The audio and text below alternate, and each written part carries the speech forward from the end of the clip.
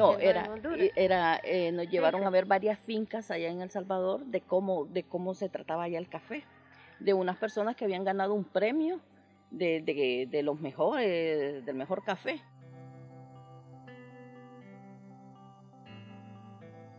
Entonces nos enseñaron a cómo, a cómo eh, tratar las fincas. Y fui a Guatemala. Me dicen, mire que nosotros, hace poquito en los de Guaralape me ofrecieron que me metiera. Y yo les dije, no, yo soy de Conza. Tengo, tengo mucho agradecimiento, como les digo, porque yo salí de ese hoyo por Conza.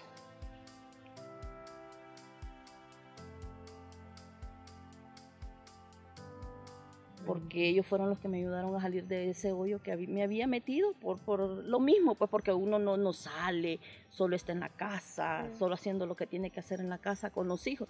Y hoy aprendí, he aprendido tanto a, a mi dinero, a poderlo, a poderlo administrar. Ustedes también hacen capacitaciones de, de finanzas familiares o personales. Hay un tema dentro del diplomado que se llama libertad financiera, ¿se acuerdan que les dije?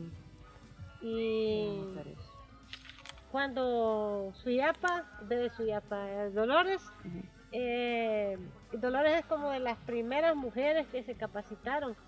Hay bastantes capacitaciones eh, para las mujeres. Grupo de, un grupo de mujeres grandes, inclusive fueron al Salvador, cuéntenle.